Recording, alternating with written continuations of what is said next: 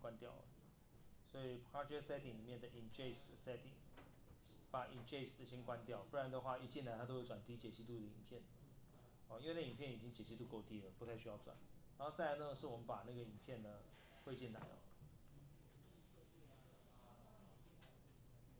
汇进来以后呢，把呃 lesson one background 转成一个 sequence，其实这样就可以直接产生 sequence 啊。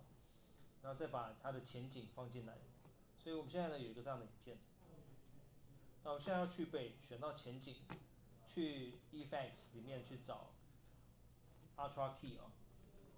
所以你打个 key 就会看到有 ultra key，ultra key 呢拉到 foreground 点 mov，接着呢是把它的 effect control 叫出来，用滴管去吸这个地方，去吸，吸完以后呢这边现在设 fit 好了。我们先看它的问题哦，那问题大概就是它的 mate 有问题，就是它的遮罩哦。它遮罩问题点是在于它的头部这个地方变半透明了，所以我们现在先去找它的 alpha channel，在 alpha channel 这个地方可以看到它的头部这个地方它有灰阶存在哦，应该要应该是要纯白才对哦。所以在 mate generation 跟 mate clean up，我们现在去找一下。首先呢，你看这边也是。这个地方灰灰的，就是表示说它没有完全具备，这个地方也是没有完全去背哦，所以，呃，我可以先把它的 contrast，先拉一下 contrast，contrast 其实对比反差稍微拉高一点有用，但是也没有到全部解决哦。再来是 choke，我们先看看它的 choke，choke，choke 这边好像还好，所以我现在要找的是 highlight shadow。首先从 shadow 这个地方开始调好了，shadow，shadow，好，所以 shadow 完了以后是 highlight，哎，我刚刚是在调 shadow 还是 highlight？highlight，highlight，OK，shadow，然后再来是 pedestal，还跟 tolerance。我先解释一下 pedestal 在干嘛。pedestal 它其实是这样子哦，打开 painter，为什么要打开 painter 跟你解释呢？因为我们的影片呢跟照片都会有个东西叫 level，色阶哦，这种东西哦。那它的色阶呢，这个地方是最黑的地方哦，这边是最亮的地方，然后这边中间可能有个中间阶调。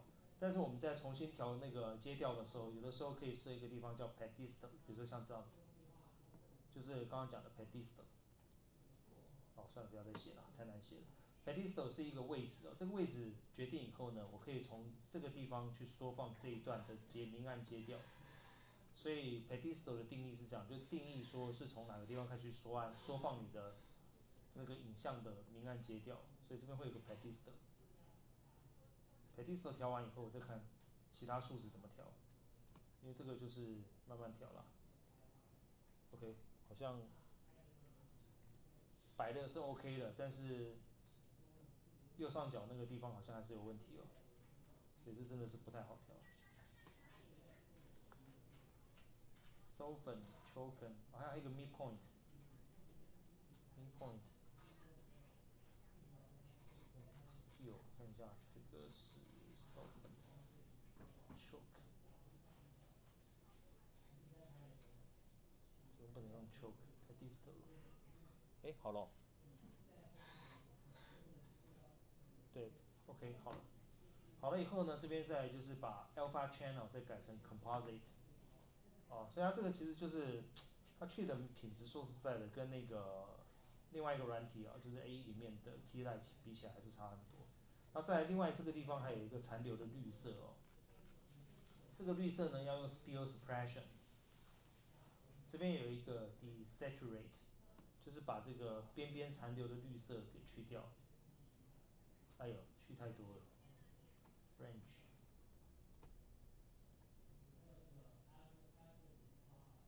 像 Spill。